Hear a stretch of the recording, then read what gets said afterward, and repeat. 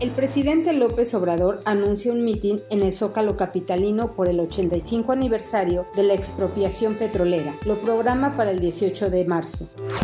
El Papa Francisco dice que la homosexualidad no es un crimen. Critica las leyes que la penalizan y las llama injustas.